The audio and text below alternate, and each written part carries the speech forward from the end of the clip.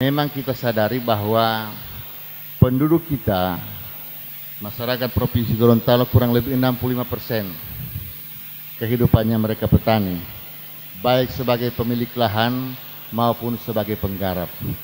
Khusus di bidang pertanian jagung, ini dari tahun ke tahun selalu mengalami peningkatan.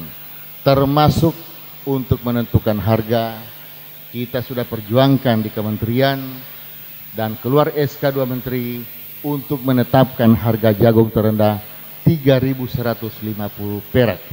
Tidak boleh turun dari itu dan jika harganya turun maka diperintahkan Bulog untuk menampung jagung-jagung masyarakat.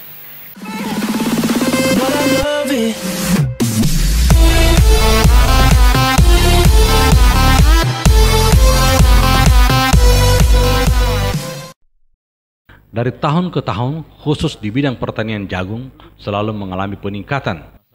Tercatat kurang lebih 65 persen masyarakat Gorontalo menggantungkan hidupnya di sektor pertanian, baik pemilik lahan maupun sebagai penggarap. Demikian disampaikan Gubernur Gorontalo Rusli Habibi pada rapat paripurna istimewa DPRD Provinsi Gorontalo dalam rangka penyerahan rekomendasi laporan pertanggungjawaban Gubernur Gorontalo tahun 2017.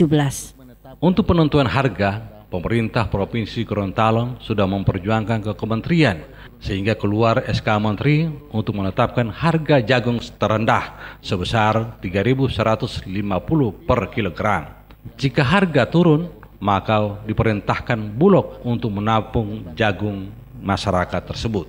Rusli juga mengatakan inilah yang membuat para petani sangat bergairah memang kita sadari bahwa penduduk kita, masyarakat Provinsi Gorontalo kurang lebih 65 persen kehidupannya mereka petani, baik sebagai pemilik lahan maupun sebagai penggarap. Khusus di bidang pertanian jagung, ini dari tahun ke tahun selalu mengalami peningkatan.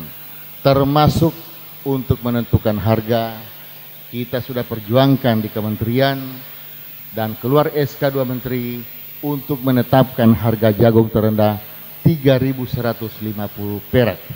Tidak boleh turun dari itu dan jika harganya turun maka diperintahkan Bulog untuk menampung jagung-jagung masyarakat. Inilah yang membuat para petani jagung kita sangat bergairah termasuk memberikan bantuan tahun ini atas perjuangan kita. Oleh sebabnya para petani mendapatkan bibit gratis dari pemerintah pusat sebesar 100 ribu hektar. Hal tersebut berkat perjuangan pemerintah Provinsi Gorontalo yang didukung anggota DPR RI berasal dari Gorontalo. Ketua DPD Partai Golkar Provinsi Gorontalo ini mengungkapkan, para petani tidak menginginkan bibit jagung berkualitas rendah, varietas dragon, Pasalnya, produksi jagung yang dihasilkan justru menyusahkan masyarakat, khususnya para petani jagung. Rusli juga mensyukuri bahwa pada tahun 2017 nilai ekspor khususnya jagung bisa mencapai 1.500 ton diekspor ke Filipina dan lain